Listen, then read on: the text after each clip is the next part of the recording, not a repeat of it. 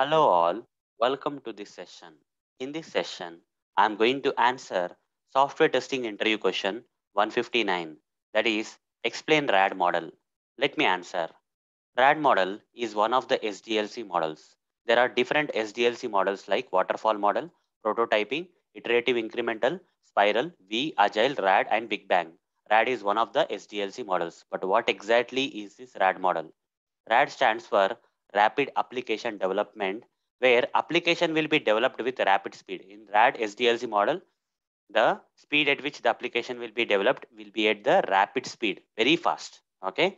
How the how the development will happen so fast? Here the concept is followed, guys. To develop the software faster, the concept is followed where simultaneously working on different modules of the project with more resources to deliver the product to customer in less time. Okay, let me give an example for this. So first, let me give a real world example. Assume that uh, at your area, okay, some construction is going on. Okay, some gated uh, community or some township is getting developed. Okay, so as part of this township or gated community, lot of buildings, okay, having a lot of floors have to be developed. Let's say, let's say this is a gated community. In this, four blocks need to be developed, and each and every block has uh, like eight to ten floors and some something like that. Okay, so what if the development happens like this okay? What if uh, after one block the next block will start?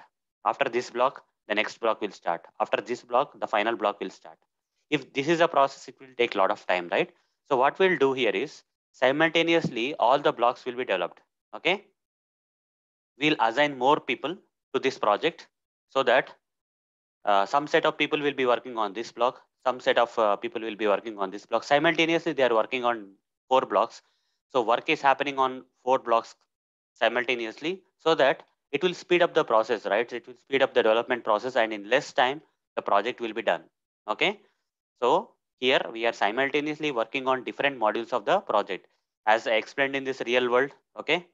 Example, right? Another example I can give you guys. Okay. There, let's say there is a flyover to be constructed and uh, generally it takes a uh, minimum five years of time to build this flyover. Okay. To construct this flyover, it generally takes five years. So what say, uh, what say they have divided this flyover into multiple portions like this and uh, each and every portion is given to a separate team. Okay, a separate team is working, a good number of people in this team are working on this portion of the flyover. Simultaneously, other team is working on this portion of the flyover. Simultaneously, other other team, other team, other team are working on other portions of the flyover.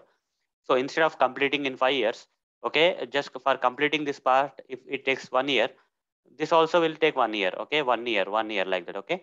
So within one year instead of five years instead of five years just in one year the the flyover will be developed okay? So this is what is the power of the rad model okay? Here simultaneously working on different modules of the project. Here different sections of the flyover are like different uh, areas of the functionality of the application. If they are developed separately by different software uh, software teams simultaneously at rapid speed the application will be developed right simultaneously working on different modules of the project with more resources. Here, more resources need to be dumped. So for complete project, let's say uh, it requires uh, 30 resources, but here every 30, 30 are assigned to individual sections of the project, okay? Instead of giving 30 members to the entire project, we are giving 30 people to each and every section of the project. So to speed up the work. So with more resources to deliver the product to customer in less time. The main ultimatum why we why people will go for the rad model for development is for uh, producing the software is when when in within less time okay if something has to be de delivered okay within less time if the software has to be created or developed in that case the software will be divided into different modules and each and every module will be assigned with good number of resources and simultaneously these resources will, will be working on each and every portion of the module and finally they will attach all these modules together so that it will become a final software and the development will happen in very less time. Okay, application will be developed at a rapid speed within less time. So here is a diagram for uh, RAD SDLC model. You see team one is working on one section of the software. Team two is working on another section simultaneously and team three is working on another section of the software simultaneously.